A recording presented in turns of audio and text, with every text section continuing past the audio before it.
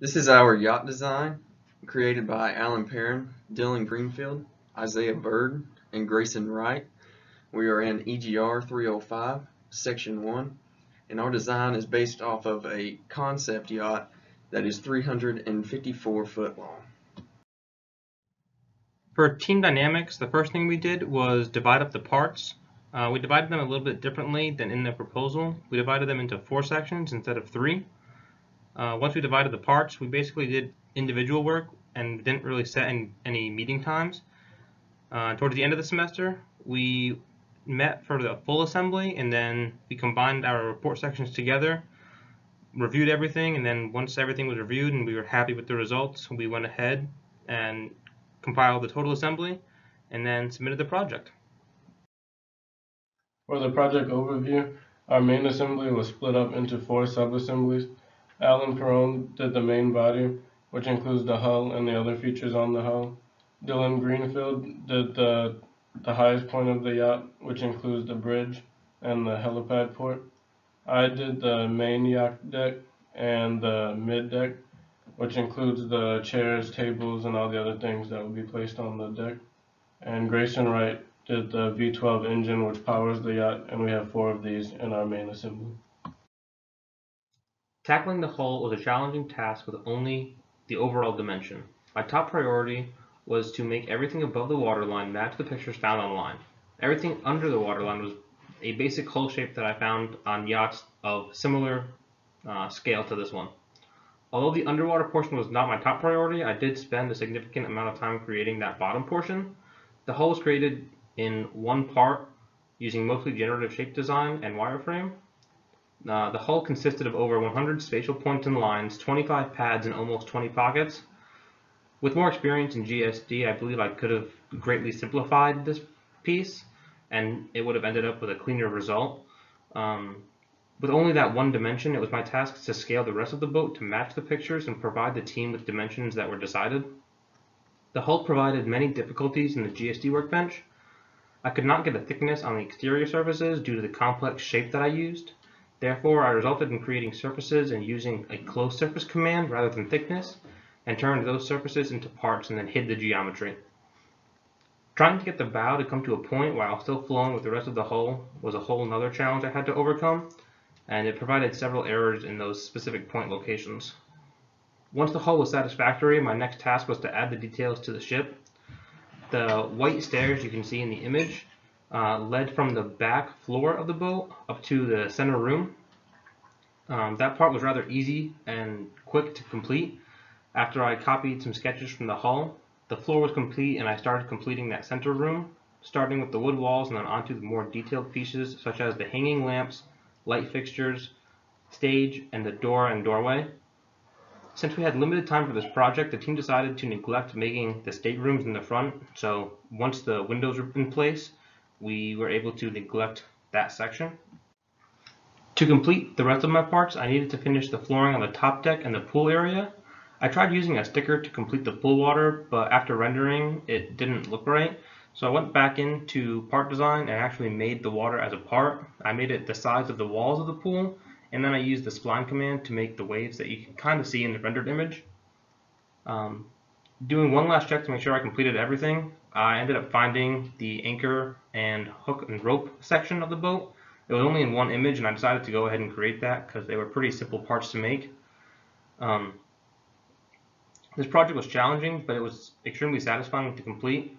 I believe the end result matches the pictures very accurately, and the overall assembly is something that I can continue to work on and improve as the days go on. Three tier is the subassembly that sits on top of the main deck of the boat. It consists of three different subassemblies, including the bridge, which is where the captain controls the boat, the bottom floor and helicopter pad, and also the very top floor. A lot of these parts were created using part design as some of the parts were not difficult enough to use any other workbenches. However, I did take advantage of using kinematics as we did not notice the fact that there were no clear access points to the top floor. I did this by using a tongue and groove approach where I pocketed out three grooves in the wings and padded three tongues on each side of the top floor. It took me a while to figure out what constraints to use to get the floor to move up and down, but by using a planar joint and prismatic joint on the correct planes and lines, I was able to get the floor to be able to simulate and move up and down on the wings. This was probably the most satisfying part about this subassembly. One of the parts I used GSD on were the spiral staircase, in which I used points, lines, and a helix to create it. Although I do believe there was a shorter way to go about making the spiral staircase, it was definitely exciting to see the end product. A lot of what I believe was important to this subassembly and the other subassemblies as far as that goes was the materials we used on the different parts of the boat that looked the best. There was a problem with getting the glass windows clear enough to be able to see through, but by messing around with the properties enough, I found the most transparent glass to put on the boat to make it clear enough to see inside of the rooms. Overall, the subassembly went well and fit and looked good on top of the main deck of the boat. The lower and mid deck, including the front bar, rear bar, pool frame, stairs, and wooden awning, are all made of one part. The other accessories on the deck include the chairs, mid deck circular tables, mid deck pillows, sofa, and glass panels. All of the features on the lower deck include the sloped beach with raised side, beach bar, towel room, main hallway, and circular bar at the front of the yacht. The features of the mid deck are the wooden awning, pool, and stairs to the lower deck. The water in the pool on the mid deck was created by padding a chunk of water and pocketing out a spline on the top surface for waves. All of my parts were created in part design and were made to be flush with the hull. Since we didn't have too many measurements, the hardest part of the deck was making sure everything was to scale for the human body. For example, the chairs had to be long enough and wide enough to fit an average person. The deck is textured with a wooden fence material to match the concept design. Alright, so the V12 engine subassembly. We had issues trying to find a full assembly of a proper yacht engine. Most yacht engines are around a V20 or a V32. Therefore, we took a V12 model and made it larger and just talked about the same design specs and scaled it to proper size for the yacht. So this V12, we modeled the crankcase and the oil pan out of glass so that you would actually be able to see inside the model. However, in real life, this would be made out of metal to be able to hold the energy in. The other materials used are steel for the uh, pistons, the crankshaft, the shaft itself, and then the propeller was made out of brass. The hardest piece to create by, create by far was the crankcase. It had multiple multiple patterns. However, the patterns didn't always fit together correctly. The pistons did not want to the pistons did not want to fit into the cylinder heads correctly. It was by far the piece that gave me the most trouble. The most interesting piece, however, to create was the propeller. This was because we used generative shape design for the fins. This was where we used projection onto a splined surface to actually create a curve so that it would be able to grab the water and then push it backwards to actually propel the boat forward.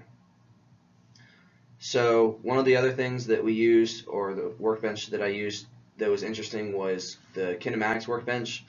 I took all the pieces and turned the engine into a realistic engine other than the headers and the rockers up top. So when kinematics was played in the CATIA software, you would be able to see the pistons moving, the crankshaft moving, and then eventually the propeller moving as well. Conclusion and evaluation. The end result was rewarding and satisfying to see. The end result of our yacht looked fairly close to the concept design that we modeled it after. We stayed ahead of our deadlines for our milestones, and overall our teamwork and communication was very helpful in working through the time crunch. If we had more time, we would have ensured that all the sub-assemblies used the same units.